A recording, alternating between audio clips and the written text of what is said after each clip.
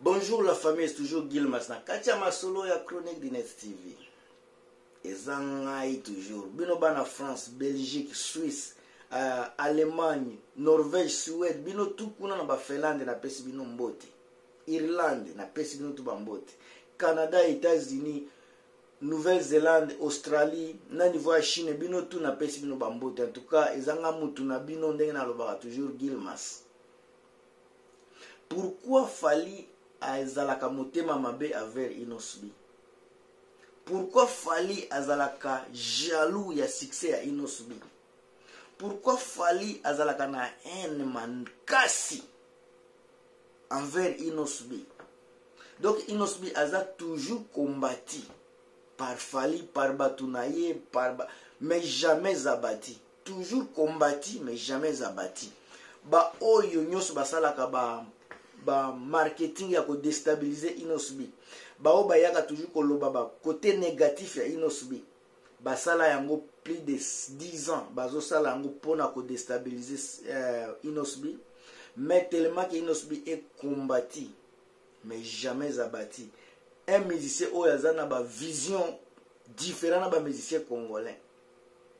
un musicien oyo ayebi makambo azosala na musique inosb atikala jamais kolukisa boostage mpo amata liboso atikala jamais kolukisa boostage mpo asala soki ndenge nini il est toujours resté égal à lui-même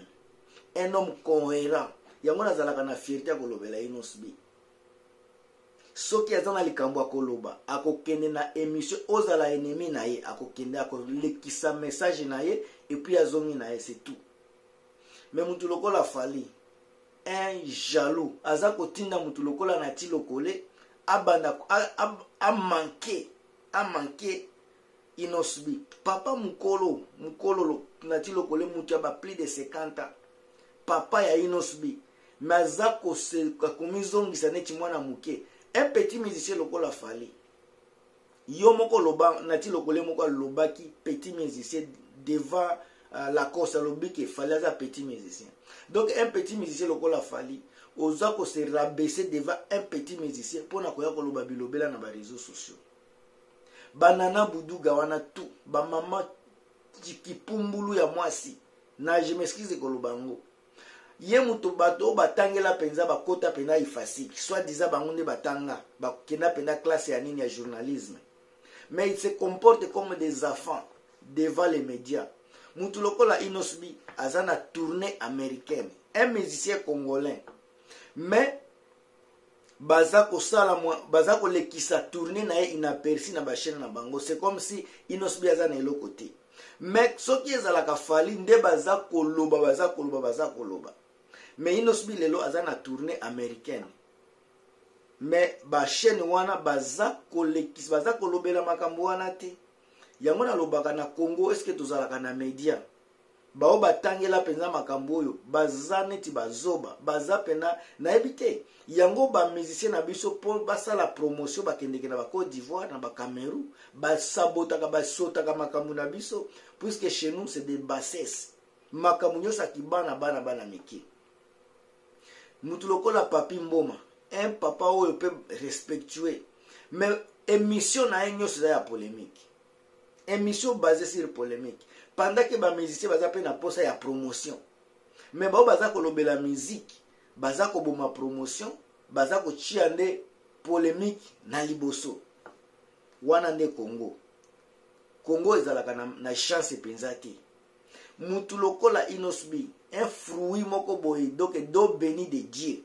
mutu oyo aza na droit mpenza ya, ya, ya nini ya promotion ya support ya biso bacongolais nyonso le seul musicien oyo asali tibe na monde entier ebeti le seul musicien na génération nyonso abeti tibe eke tina ba asie chine japon amérique partout ebeti le musicien le plus, le, le, le plus dynamique lelo eza inosbi un musicien le plus stable pourquoi kosan vouloir na ye pourquoi donc boza kosa vouloir na inosbi pourquoi un musicien oyo aza indépendant azo dépendre mpe na mutu te ce n'est pas ke azalaka na ba, na ba maison boye azo, azo, aza, aza kovivre selon baproducteur boye te eza, ye moko aza autoproducteur aza kose produire ye moko jalousie ya nini bino bozosepela te ete oza koloba baverité bino bozokoka koassume verité te awa naza koloba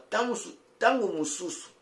je, je dis peut-être inos mpe aleki fali na mbongo nalobaka yango parceke nayebi pourkui eloko naza koloba ntango mosusu inosb aleki fali na mbongo puiske inosb aza autoproducteur mbongo nyonso ya miziki eza ya ye pendant que fali mbongo ya musique eza ya ye te ye azwaka 30 pourcent ya musique na ye ezala musique abimisi ezala baproduction azwaka 30 pourcent 30 pourcent ezalaka ya producteur 30 pourcent mosusu ezalaka bamarketing 10 pourcent ezalaka ya kese sika moto aza kozwa 100 pourcent eza ya ye na moto aza kozwa ba 30 pourcent nani moto aza na mbongo koleka moninga je pense que yango makambo wana nyonso nde ezosala ke fali akoma motema mabe ya veri inosbi asala mwaye nyonso donc bayina bayinisa mpena inosbi na bato nyonso se kaka bawario nde bato oyo baosaka koloba ke inosbi aza rwande kaka bawario ezalaka jamais motu mosusu fo ezala bawario kaka moto akoli abotami na congo bozomona ndenge aza koevole telemaki aza moto ya est telemaki aleki bino na mopepe aleki bino na gaz azosala makambo oyo bozokoka te boza kofinga puiske arme ya faible eza kofinga inos bi boza kosepela na ye te bolingaka ye te puiske soki fali aye na buzoba na televizio batuni ye meme question akoya kozongisa bato na nzela puiske inos bi ne mapa ayaka na ba divagation te na bareseau sociaux yango nasepelaka na inosbi aza mutu azalaka vrai soki aza na likambo ya koloba akoloba yango mpenza avec, avec certitude me fali akoya azokosakosa bato soki asali émission na bato lokola banati lokole baémission ezalaka mwa ondire kozeri moko bamasta bakutani bazosolola parce que matière eza te epuis émission nyonso inosbi asalaka ayembaka soki inosbi asali émission okoyoka azoyemba pardon aza kosala ba improvisation oyo fali aza koloka ngai azolinga nakufa mpo naza kobimisa baverité ya boye en tout cas euh, inosbi c'était musicien oyo donc bokoki jamais kosavouloir na ye puisque c'était musicien oyo ayebi makambo azosala aza na bavision na ye makambo fali azosala na miziki soki botali bien ayebi bien ke bato bato bazoyeba deja ke inosb aza le concurrent direct na ye yango sika asala moyen nyonso abendabenda barobino ba, ba mondibu bagaz oyo petit gaz oyo pembeni na ye mpo bato babanda kosala comparaison ya bagaz wana na, na inosb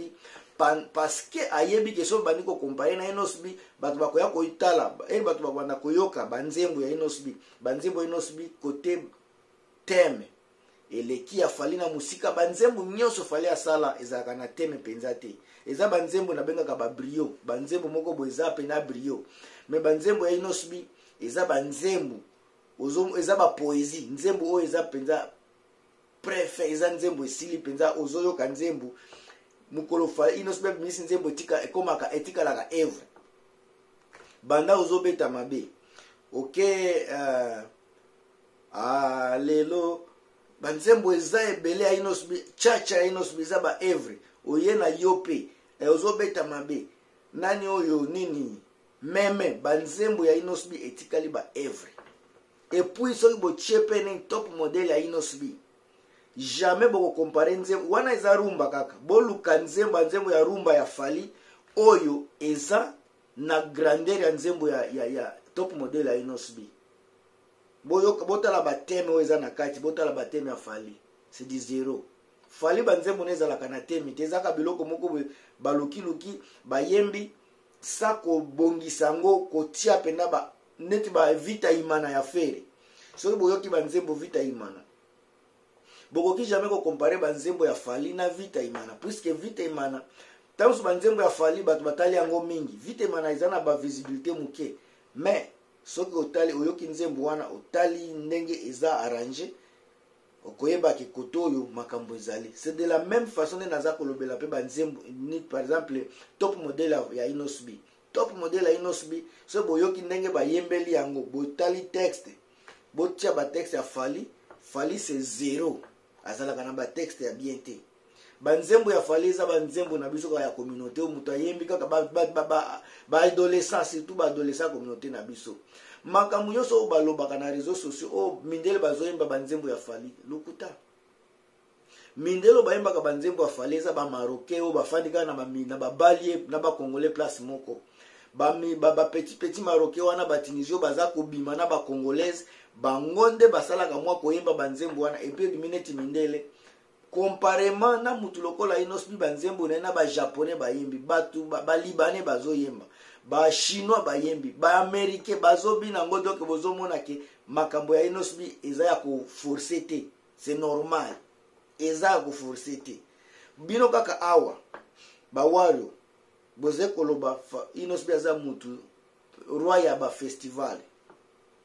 lelo fali aza wapi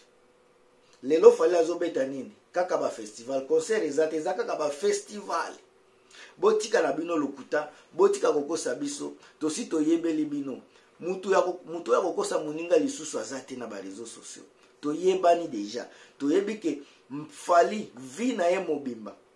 are mobimba ya fali eza entouré na mensonge